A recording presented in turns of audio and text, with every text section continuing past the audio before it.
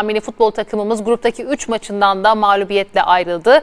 8 gol yedi, 1 gol kaydedebildi. O da İrfan Can Kahveci'nin ceza sahası dışından bulduğu golle İsviçre karşısında. Eksi 7 averajla sonuncu olarak tamamladık. Grubu belki e, galibiyet almış olsaydık o zaman biraz daha olasılıklar üzerinden en iyi 4-3. arasına girmeyi konuşabilir pozisyonda olacaktık ama olmadı ne yazık ki.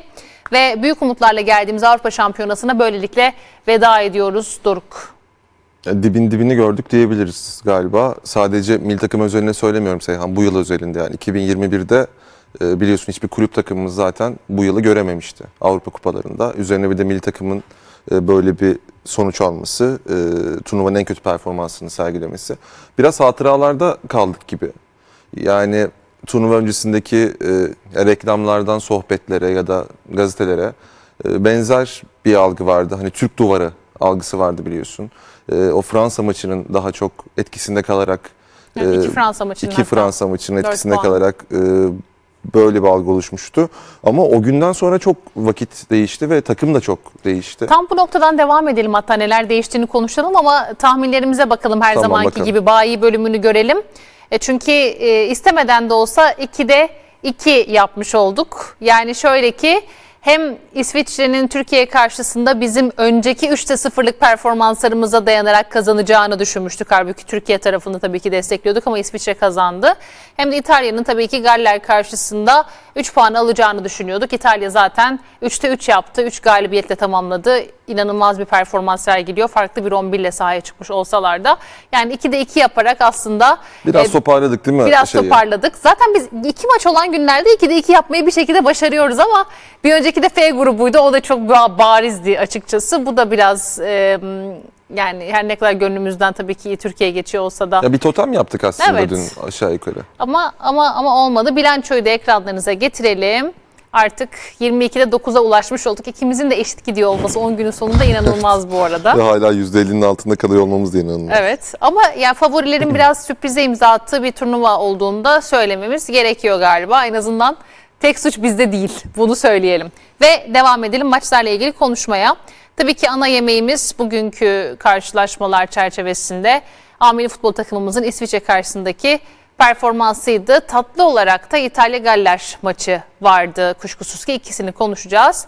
Az önce kaldığımız yerden devam edelim istiyorum Doruk. Yani Avrupa Şampiyonası elemelerinde 2019 yılında gerçekten inanılmaz beklentilerin üstüne çıkan sadece oyun olarak değil aynı zamanda istek, mücadele, enerji olarak da çok üst düzey olan bir ameli takım. O günden bu yana da sayılarla da çok fazla şey değişti. E, istersen bu çerçevede e, yorumlarsan neler söylersin? İşte dediğim gibi o güne o zamanlara çok takılı kaldığımızı düşünüyorum. Ee, o aslında o bahsedilen Türk duvarı aşınmaya başlamıştı. Yani Uluslar Ligi'nde e, evet. e, özellikle aşındığını gördük. Bu turnuvada ise 62-63 tane şut çektirmişiz Seyhan kalemize. Evet. E, ya da mesela Bunlardan ilk... 25'i de kalemizde gördüğümüz isabetli şut sayısı ki ortalama 8.3 isabetli şut görmüşüz maç, maç başına kalemizde ve bu anlamda en kötü takımız. Hani savunmamızla övündüğümüz için evet, bu çok e, ekstra geliyor. Yani daha farklı meziyetlerimiz olsa çok önde oynasak mesela kontrol tehditlerine e, bir noktada e, okey bir takım olsa daha farklı konuşabiliriz ama biz savunmamızla övünerek buraya geldiğimiz için bu aslında enteresan. Yani ilk devreyle İtalya maçının ilk devresiyle İsviçre maçının son devresini çıkar aradaki 4 devrede 7 gol yedik. Bu e, gerçekten enteresan. Ya zaten savunma tarafıyla fizik durumumuz beni çok şaşırtıyor. Bu arada o zamana kadar yani Avrupa Şampiyonası elemelerinde yediğimiz gollere baktığımızda sadece 3 gol yemiştik ve bu 3 gol de duran toptan yediğimiz hı hı. gollerdi. Yani yine az önce bahsettiğin o savunma yönümüzü ortaya çıkaran, ön plana çıkaran özellikle alakalı olarak söylüyorum. Ki aslında Türk milli takımı savunma özellikleriyle ön plana çıkan değil daha çok hücum yapmayı düşünen ve bu aslında becerileriyle ön plana çıkan bir takımdı bu milli takıma kadar evvelinde. Evet bu milli takım daha çok tutan evet. e, önce gol yememek üzerine kurulu. Çünkü ona göre uygun e, jenerasyonda oyuncular çıkarmış bir takımdı. E, ama tam tersi oldu bu turnuva boyunca. Averaj takımı olduk aslına bakarsan. Yani 8 gol evet. e, yedik ve bu formatta Ukrayna geçen mesela baktım turnuvada 0 çekmiş. E, ondan sonra biz 0 çektik şu an puan olarak. E, hem savunma tarafı tabii bunu sadece stoperlerle e, yargılayamayız, şey yapamayız, değerlendiremeyiz. Yani mesela ben savunma önünde savunamadığımızı düşünüyorum. Ya Okay'ın, Kaan'ın pozisyonlarında da orada çok bu İsviçre maçını da oradan çok rahat e, şut imkanı verdik e, Evet. rakiplere. Diğer tarafta fizik e, problemi. Yani fizik olarak mesela İsviçre takımının bizden daha diri olması beni şöyle şaşırtıyor. Turnuvanın en çok yolculuk eden e, takımı. Biz de en genç takımıyız. Ya hem genç olmamız ya mesela bizden daha genç takımlar da var.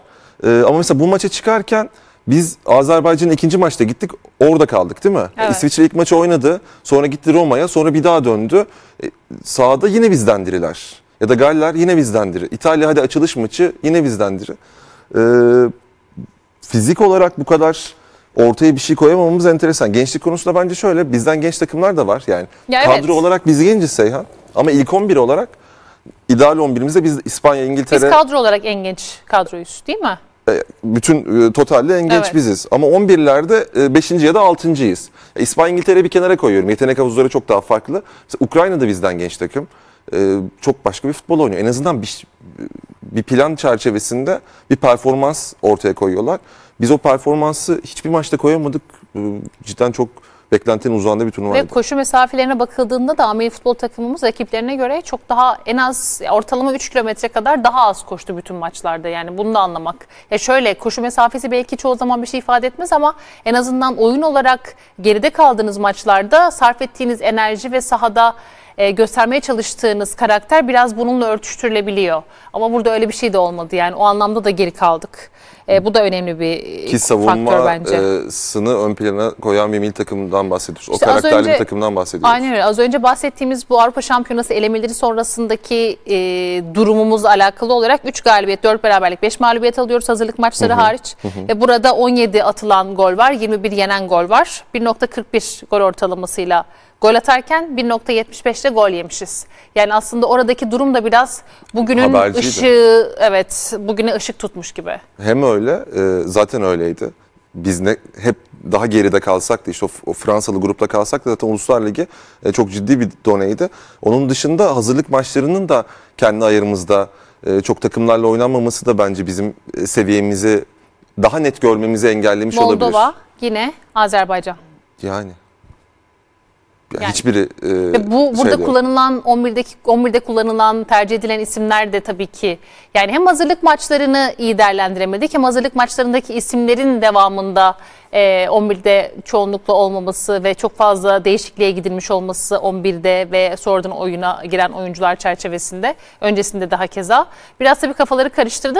Az önce Uluslar Ligi dedin ya ee, Igor Angelovski ve Goran Pandev ile bir röportaj yaptım. Bugün 14.30'da da yayına girecek. Mesela orada Pandev altını çiziyor. Uluslar Ligi'nin ne kadar büyük bir fırsat olduğunun altını çiziyor. Çünkü biraz daha az segment takımlarda e, karşılaşılan ekipler üzerinden bir şekilde böyle büyük turnuvalara gitmeye hak kazanıyor oluyorsunuz ve Makedonya bunu başaran takımlardan bir tanesi ve burada da her ne kadar puan alamamış olsalar da yıldızlaştılar. Orada aslında ne kadar önemli bir rolü olduğundan da bahsediyor. Biz bu maçlarda da ne hazırlık maçlarını ne Uluslar Ligi'ni hiçbir şey ciddiye de almadık. Bence biraz burada da problem yaşadık biz. Haklısın. Ee, yani ciddiye alıp almamaktan ziyade mesela buraya geldiğimizde ya bu turnuvayı oynadığımızda işleri iyi gitmiyor. İtalya maçını oynuyoruz, işleri iyi gitmiyor. Galler maçını oynuyoruz, işleri iyi gitmiyor ve e, en kötü performansı hep Türkiye göster- gösteriyor. Bu bir gerçek ya iki maç sonunda da. E, kullandığımız oyuncu havuzu da t- e, 15 tane oyuncuya 90 dakikadan fazla şans Evet. vermişiz mesela. Yani sadece 4 tane o rotasyon oyuncu sokmuşuz. Ki çok daha geniş e, 25-26 kişilik bir kadro varken e, bunu yapmamız e, yeni bir şey denememiz. Mesela bu maçta e, Zuber 3 asist yaptı değil mi? Evet. Yani- Tıpkı dün Gosense Portekiz'in herhangi bir çare bulamaması gibi. Ya da işte zamanın e, bir hafta önce Dumfries'in e, Evet. maçı sürükles etmesi gibi. Liner'in, Spinazzola'nın. Evet, bekledim. Mesela beklerin e, öne çıktığı bir turnuva ya da çok fazla üçlü oynayan takım var. Dün de seninle konuştuk. Evet. Ki bizim il takımımız da mesela üçlü oynayabilecek potansiyeli olduğu konuşuldu hep genel olarak. E, Böyle de bir planla gelmediğimiz için ya arkaya işler kötü giderse hani bir şeyleri değiştirmek adına böyle bir şey yapabiliriz. Şaşırtabilecek değil mi? Aynen şaşırtabilecek e, bir planımız da hazır olmadığı için zaten çok sadece oyuncular değişti turnuvada. Belli, Taktik benzer değişmedi, oyuncular. oyuncular değişti. Taktik zaten değişmedi ki taktik esnekliğe sahip bir takımız aslında. Ya dön- döndürebiliriz. Ön- En azından savunma tarafını döndürebilirdik. Ee, bunu da yapmadık. Zaten genelde merkezi değiştirdik. Mesela bu Evet. maçta da e, izlerken seninle konuştuk ki aynı değişiklikler olacaktı. İrfan golü atmasaydı muhtemelen Kenan'la İrfan değişecekti. Evet. Bütün merkez değişmiş olacaktı. Ve bu arada zaten işte e, Ozan Okay ikilisinin form düşüklüğü, gerçi bütün takımda form düşüklüğü var ama e, sonrasında e, bir, bir sonraki maçta orayı değiştirdi. E, biliyorsun ki sen de Yu- Yusuf'la... İlk e, maç Yusuf'la başladı. Evet. İlk maç Yusuf e, Yok İtalya ama- maçının 11'indeydi. Ama şöyle Ozan'la Okay başlamıştı libero evet, olarak. evet. Ondan Evet, bahsediyorum. evet, ikisi yani iki, iki e, libero olarak düşünecek olursak onu, onu İkinci söylemeye maçın devresinde Kaan'ı Evet Kaan'ı zaten koydu. oraya koydu. Onun yanında da zaten Yusuf oynadı. E şimdi bu maçta bakıyorsun Kaan'la Ozan oynuyor. Yani orada zaten Ozan'ın da form düşüklüğü var. Ve Kaan yani neden mesela mevkisindeki oyuncular mesela Dorukan neden o zaman orada oynamıyor? Ya da neden orada Orkun'u göremiyoruz? Taylan neden orada e, ön libero olarak oynayamıyor ki iyi bir sezon geçirdi? Ya da Mert sağ ayaklı bir backup altını çiziyoruz. Sağ ayaklı bir e, oyuncu neden orada Rıdvan değerlendirilemiyor? Mesela hani şaşırtmak için konuşuyorum. Ya da stoper havuzun geniş neden üçlü e, tıpkı diğer takımlarda olduğu gibi üçlü bir formasyon de- denenmiyor gibi gibi gibi. Yani çok çok diye iyi hazırlanılamadığını görebiliyoruz ya birçok anlamda. O da birazcık Mert problem konusunda gibi. sadece şöyle bir ya, turnuva bize Bu arada ma- maçın da en iyilerinden en iyisiydi hatta. Ya Bizim tezimizde turnuva şöyle bir antites sunuyor Mert Müldür konusunda. Ee, ters ayaklı iyi sol bek performansları izliyoruz. Ya da iyi, hepsi iyi olmasa da kullanılıyor. Tabii ki. Yani işte Spinazzola kullanılıyor. Trippier İngiltere milli takımında ilk maçta oynadı. Hubocan Slovaklarda ters ayaklı oynuyor. Ee, Çeklerin mesela yine beki ters ayaklı. Hani orada e, 4-5 tane ters ayağını kullanan sol bek oluyor. Ee, Ama sonuçta senin kadronda hücumcu bir bek var. Ki. Neden o zaman Rıdvan'ı aldın sorusu geliyor. Tabii akla. ki yüzde yüz haklısın. E, Ya da neden daha geniş yelpazede oyuncu kullanmadık? Evet. E, 11'lere direkt bu oyuncuları monte etmedik e, bilmiyorum. Zaten genel olarak takımın enerjisi de düşüktü Seyhan. Mesela bugün oyuna girerken e, oyuncuların yüz ifadesine baktık. Çok apolan bir oyuncu yok. Kesinlikle çok öyle. e, sanki yani maçın birçok bölümünde İlk 5-6 dakika böyle iyiydik. Sonrasında zaten golü Golü yedik. gördükten sonra bir anda inanılmaz bir düşüş yaşandı yine. Enerji olarak da o bahsettiğim vücut dilindeki mesajlardan da çıkan buydu. ki o akıcılığı da galiba İrfan sağladı. Yani Evet. İrfan ilk maçlarda kullanılmadı yeteri kadar e, milli takımda. Aynen öyle. Ama İrfan'ın biraz işin içine girmesi baktığımız bölümlerde o trafiği sağlayan kişi genelde İrfan Can'dı. Galiba şunu da İrfan'la ilgili söyleyebiliriz İrfan Can'la ilgili olarak. Ya zaten Şampiyonlar Ligi'nde de o yaptığı ceza sahası dışından bulduğu 3 golle yaptığı hat-trick'le de kendisini e, göstermiş bir isimdi. Avrupa Şampiyonası'nda milli takımımızın tek golünü kaydederek de ve güzel yine ceza sahası dışından güzel bir şutla kaydederek de o golü. Yine burada biraz daha kendisini gösterebilmiş e, isim oldu. Çünkü aslında bir vitrindi de Avrupa Şampiyonası. Herkesin kendisini göstermek istediği ve herkes sınıfta kaldığı gibi bir durumda var. Yani Her ne kadar bütün bu şey insanlara, evet oyunculara. aynen öyle. Her ne kadar Şenol Güneş'e daha fazla bu mağlubiyet yazacak olsa da. E, Biz ya bu turnuvaya gelirken büyük beklentiler içinde geldik evet. E, Bunu da aslında sorgulamalıyız. Bu kadar beklentiyi altını doldurarak mı koyduk yoksa son dönemdeki performansımız be- beklentiyi karşılıyor muydu? Ya mesela Hollanda'ya 4 gol attık ama 5 tane isabetli şutumuz vardı. Belki o maç da göz boyamış olabilir. O Dünya Kupası elemeleri. E, Biz 29. sıradayız FIFA Evet. sıralaması. Bu turnuvaya katılan takımlar e, bizden 5 ya da 6 takım var altımızda. Mesela Slovaklar galiba hatta direkt bakıp söyleyeyim yanlış olmasın. Ruslar, Macarlar, Slovakya, Çekya, İskoçya, Finlandiya ve Makedonya. E, Tüm bu takımlara bakınca e, her takım hakkında ne yaptıklarına dair burada programlarda ortaya bir şey koyuyoruz. Ya da koydukları enerjiden bahsedebiliyoruz. Mesela dün burada Macarların savunmasını övdük. Aynen değil mi? öyle. İşte Makedonlar Fransa'dan hakkında puan aldılar. Aynen Makedonya hakkında burada konuştuk. Sen takımı nasıl beğendiğini anlattın. Ee, ama bizim takım hakkında ortaya koyabileceğimiz pozitif e, çok da bir veri yok. Bu kadar savunmasıyla gelip bu kadar savunması push edilen bir takımın 62 tane her maç 20 tane kalenize şut attırıyorsunuz. Yani korkunç bir istatistik Ve çıkıyor. diyelim ki kötü bir İtalya maçı geçirdiniz. Ardından Galler maçında bir oyun planınız olması lazım. Oyun planı göstermiyorsunuz. Herhangi bir varlık göstermiyorsunuz. Sonra diyelim ki onda da gösteremediniz. Artık İsviçre maçı belki umutlarınızı yeşil tutmayı sağlayacak bir maç. Kazansanız belki olasılıkları artık hesap edebilir. Bir üç gün daha en azından umutları devam ettirebilir noktası, noktasınız ama orada da yine oyun olarak ne ortaya koyduğun sorusunun cevabı yok. Zaten asıl mevzu da burada bitiyor bence. Bahsettiğin- Şenol Güneş'in eleştirilmesinin asıl sebebi de bu. bahsettiğin o 3 günlük marjı mesela Euro 2016'da sağlamıştık. Evet. Yani daha zor bir grubumuz vardı. İspanya, Hırvat, Hırvatistan ki Hırvatlar 2 sene sonra Dünya Kupası'nda final oynadı. öyle. Ve Çekya. Biz son maçı o Çekya ile mesela o umudu sağladık. En azından bir şey koyduk ortaya. Ee, İspanya maçı da felaketti. Hırvat maçını da öğretememiştik. Ee, ama burada söylediğin gibi ona yakın yani insanların inanacağı bir şey yoktu ortada turnuvanın e, özellikle Galler maçından sonra. Hesaplar kitaplar yapıldı. Tamam o onu kazanırsa o ona kaybederse öyle olursa falan akıllara işte İzlanda maçı gelmiş olabilir. Ama görünen köyde gayet e, kılavuz istemedi. E, Şu anda A grubunda zaten İtalya lider olarak gruptan çıktı. E, Galler de devam ediyor yolunda son 16 turuna ve İsviçre'de en iyi dördüncüler, en iyi dört üçüncü takım arasındaki yerini alacak gibi görünüyor en azından 4 puana sahip olduğu için. Şeye baktım geçen seneki formata bak e, geçen bir önceki turnuvaya baktım. En iyi üçüncünün ikisi 4 puan almış. İkisi de sıfır averajlı 3 puan almış. Yani muhtemelen 4 puan kotaracak Aynen öyle görünüyor. e, İsviçre'yi. E, bu çerçevede de Bale'la ilgili güzel bir tweet var. Malum Galler de yoluna devam ettiği için sevgili arkadaşlar. Bale de biliyorsunuz hani bu golf konusunda artık futbolu bırakacak, golfe devam edecek konuşmaları ve e, işte bütün bu e, Gol çıkanlarla alakalı olarak aynen öyle. E, onun yaptığı bir onunla ilgili yapılan bir paylaşım var. Normalde Golf maçını iptal edin. önümüzdeki önümüzdeki hafta konusu. turnuvayı uzattım e, diyor Aynen Bale öyle. ve son Euro'nun yarı finalini oynuyordu Galler. Ama genel algımız neydi? İşte İtalya favori bu grupta. İsviçre ile çekişeceğiz. Galler e, grubun en baş altı takımı e, gibi bakıyorduk. Hiç alakası olmadı. Galler de bize gayet net bir futbol oynadı. E, zaten bugün de günün takımını mesela Galler seçti kaybetmesine rağmen. Çünkü gruptan çıktılar. E, İsviçre'yi e, alta alarak. Yani e, şeye sığınabiliriz evet. Tabii ki genç bir takımız. Tabii ki önümüzde bir takım İşte turnuvalar turnuva var. tecrübesi aslında. Turnuva yani tecrübesi- Caka'nın bizimle ilgili yapmış olduğu yorumla da birazcık doğru orantılı. Yani evet Türkiye iyi bir takım, genç bir takım ama e, turnuva tecrübesi yok. Yani az bu anlamda ifadesini kullandı. Turnuva tecrübemiz biraz- yok da e, hani oyun anlamında ortaya hiçbir şey koyamayacak kadar da tecrübesiz bir takım değiliz. Yani bu takımın yaş ortalaması da hani 18 değil ya da 20 değil. Ya İlk sadece defa o da değil. Sonuçta lejyonerler de en iyi seviyede oynuyor oynadıkları 5 büyük Avrupa Ligi'nde.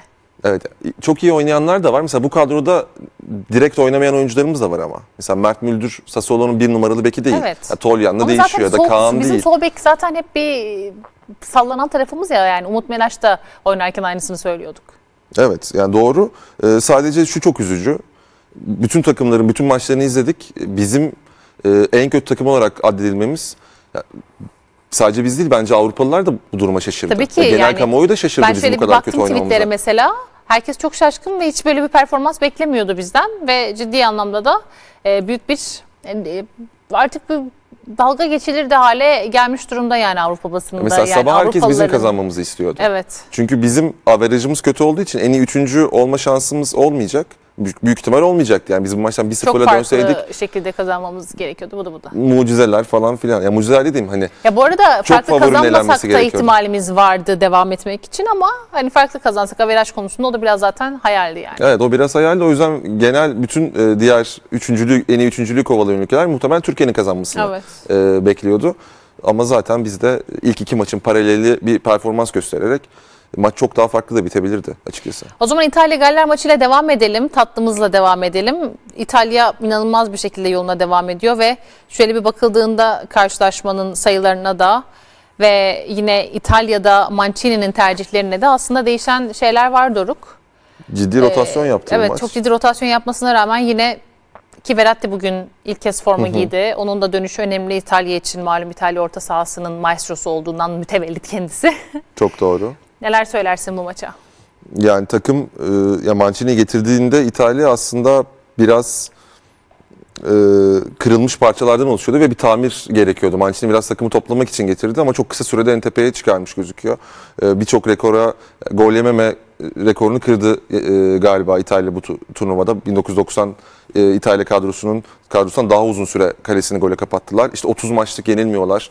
Da 30'lardan kalma bir rekoru İlk egale defa ettiler. Avrupa Şampiyonası'nda 3 gol attılar. Sonra bir daha tekrarladılar onu. Biliyorsun ki ikiden Evet. fazla gol atma İşte konusunda. gol yemeden 9 puan alma. Aynen öyle. Ki zaten mesela en son e, 9 puanını şey- yine bizde almışlar. Euro 2000'deki grupta e, almışlar. E, İtalya kadrosunun ne kadar e, derin ve e, genç oyunculardan oluştuğunu bir örnekti bugün. Ya, iyi bir jenerasyonları var. Ya özellikle 25 yaş altı oyunculara e, bakarsan çok ciddi ellerinde mesela Bastoni, Locatelli, e, Raspadori e, bu takımda 25 yaş altı oynuyor. İşte Pessina, Chiesa, e, Donnarumma birçok pozisyonda birçok oyuncuları var.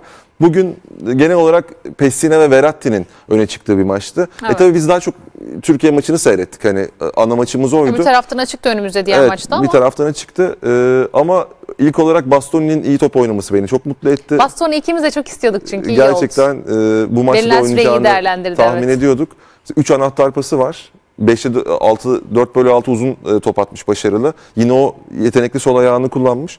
Ama bu tabii maçın adamı galiba e, Pessina oldu. Ya dün de mesela Gasperini çıkmıştı zaten. şeyden. e, Almanya maçından. Bugün de Gasperini çıkıyor abi. Pessina da Gasperini ile beraber Atalanta'da e, yükselmişti. Ki Milan vazgeçiyor Pessina'dan. Hani Milan gözden çıkartıyor. Tıpkı Locatelli'yi gözden çıkardıkları gibi. Yani bazı kararları gerçekten e, inanılmaz. E, ama burada da bir Gasperini dokunuşu var tıpkı Malinovski'de olduğu gibi.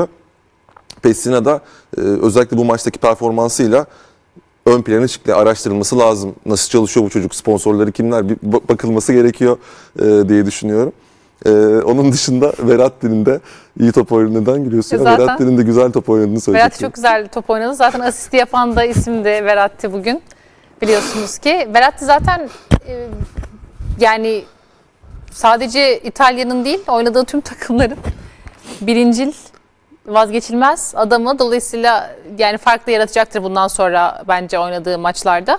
Bu arada e, Mancini'den bahsetmişken Mancini ile ilgili olarak da bir detay var. Şimdi şöyle ki e, Sirigu da biliyorsun bugün çok kısa bir süre olmasına Evet, rağmen sahne aldı.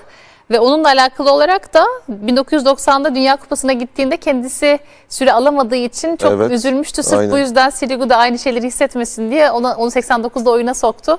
Ve e, onun pişmanlığını çok hissettiğini ifade ediyor. Sirigu'nun da aynı şeyi yaşamamasını istediği için oyuna sürdüğünü söylüyor onun. O da çok gerçekten güzel bir detay yani. Ee, çok Çok çok, güzel bir detay. eden bir Kendisi e, Dünya Kupası'nda oynayamıyor ve zaten Dünya Kupası'na süre alamadığı için kendisine haksızlık yapıldığını Evet. düşünüyor.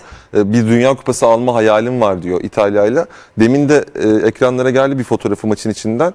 Maç sonunda da e, ceketi omzuna atarak verdiği maç sonu röportajı da acayip cool'du. Zaten en şıkı e, diyebilirim e, şeyin tu- e, turnuvanın. Sirgu hamlesi de çok klastı. Yani en şıkı olabilir. Değil mi diyorsun? Ben Luis Enrique'nin de çok şık olduğunu Kısa düşünüyorum. paça ya Luis Enrique ama. Ama yakışıyor şimdi. Şevçenko da iyi bence. Ben hani tarz olarak değerlendiriyoruz değil mi? Tabii ki tarz ben olarak Mancini olarak e, Mancini genelde zaten verdim. daha fazla oy o alacaktır. kısa yani paçayı bu ben şey yapamadım çünkü. Kafamda hemzeminleyemiyorum o yüzden Enrique'yi eliyorum. Peki devam edelim o zaman. Ee, hazır buradayken şimdi Galler... Gruba bir bakalım mı? Hiç grubun görünümünü görmedik Aynen öyle. sonuçta. Ne Grubun oldu ne bitti görelim. anlamında. 9 puanla şu anda zaten İtalya gruptan çıktı bildiğiniz gibi. Galler'de çıktı. E, Galler'de çıktı. averajla. Galler de bunu bu arada kadrosunda 10 Championship oyuncusuyla başardı. Yani alt lig oyuncularıyla başardı. Bu da inan- inanılmaz bir şey bence.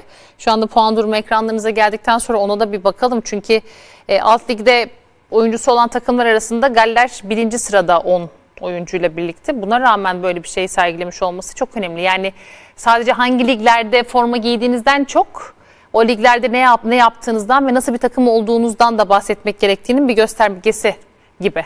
Hem öyle hem de e, bu biraz tabii Championship'in seviyesini de gösterir. Yani birçok oyuncu Championship'te ise Ki orada da Ee, çok sayıda maç oynanıyor sonuç itibarıyla. Evet e, ama mesela buradan şey de diyebiliriz. Daha yorgun geliyorlar da diyebiliriz mesela. Ama yo bayağı çatır çatır oynuyorlar. Hani e, biz daha sıkışık bir fikstürde bu sene mesela top oynadık ya. Daha erken bitirdik diğer liglere göre. E, onlar da yani İngilizler de çok daha sıkışık bir fikstürde oynuyor. E, ama Galler Euro 2016'da yaptıklarının bir tesadüf olmadığını gösterdi. Çok e, düşük e, başaltı oyuncuları var belli noktalarda. Belli noktalarda çok yüksek profil oyuncuları var. Çok iyi bir e, ikisini harmanladı. Atanıyla tutanı Galler'in mesela çok şey e, Seyhan yani konuştuk ya mesela kalecileri Premier Lig'de senelerdir ama o düzeyde top oynamıyor. Forvetleri Moore çok uzun süre alt lig gezmiş. Ama o yıldızlarla yanındaki e, özellikle Daniel James bu turnuvada Aynen çok gol öyle. pozisyonu e, üretiyor. E, Gareth Bale kendini buldu. Gareth Bale bizim de tabii ki sayemizde ilk maç alakası yok Evet, mesela aynen İsviçre öyle. Kesinlikle Bale. öyle. Aaron Bale'i havaya biz hakeza. soktuk. Evet. Ramsey de keza. Aynen öyle. O yüzden çok hak edilmiş bir başarı kazandı. Özellikle İsviçre'ye geçerek. Yani bizi zaten ortaya hiçbir şey koymadık ama İsviçre takımı iyi takım. Kesinlikle. Onları geçmeleri o yüzden önemli. O zaman ellere bakalım. Günün elleri ekranlarınıza gelsin. en iyi takım Galler oldu. Her ne kadar kazanmamış olsalar da turnuvada devam edecekleri için önemli bir e, yol kat etmiş oldular. Az önce de konuştuk. Günün futbolcusu Shaqiri oldu. E, Dünkü Gosens gibi bir şey olacak diye çok ama Shaqiri ürperiyorum. konusunda çok eminim. Yani çünkü Arnavut ve oradaki Q, Ç diye okunur. Ve uzun Şakiri diye değil, Şaçiri diye okunur yani. Ama ben bu saatten sonra Şakire'ye nasıl canım, sen öyle de, ben böyle diyorum. şey yapabilirim ki? Ve günün teknik direktörü de Petkovic oldu. Onlar da malum bizi yenmeyi başardılar. E, Şakir'e hiç parantez aç- açmadık. Açalım 5 tabii. gol attı İsviçre. Üçüne e, katkı sağladı Şakir'i. Ve o da düzenli oynayan bir futbolcu değil Liverpool'da. Hatta e, Evet. rotasyonun en diplerinde olan bir oyuncu. Ama hem öz yeteneğe sahip, çok yetenekli bir futbolcu. Bir de iyi idman e, yaptığını düşündüm ben bu kadar hazır geldiği için. Yani Liverpool'da idman yemek e, demek ki çok yüksek seviyede. Harbiden ama önemlidir yani Kesinlikle idman önemli. yapmak. Yani maç eksiği olsa bile e, buraya çok e, hazır gelmiş. Turnuvaya kendi takımı adına en önemli iş yapan oyuncusu oydu. O zaman bir de bugünle ilgili tahminlerimize bakalım. Bugün 4 maç var. Gerçekten zorlu maçlar. Ve her şeye de gebe maçlar. Kuzey Makedonya, Hollanda. E, Hollanda diyorum. Ben de Hollanda diyorum. Nasıl. Hollanda diyorsun? Ya ne yapayım öyle diyorum valla. Gerçekten mi? Emindim ya oradan şey alacağımı çünkü. Bu sefer öyle diyorum. Ee, Ukrayna, Avusturya ben ikimiz de beraberlik demişiz. Finlandiya, Belçika ikimiz de Belçika demişiz. Rusya, Danimarka'ya da beraberlik diyorum ben. Sen Danimarka demişsin. ben Danimarka'nın bu gruptan çıkması e, gerektiğini düşünüyorum. O yüzden e, bu maçı kazanmaları lazım. Zaten çok daha iyi top oynuyorlar bu kesin. O zaman böylelikle noktalıyoruz efendim. Avrupa Şampiyonası'nda 10. günü de ama tabii ki yarın karşınızda olacağız tekrar. Günün karşılaşmalarını konuşmak üzere. Bizi izlediğiniz için teşekkür ediyoruz. Hoşçakalın. Hoşçakalın.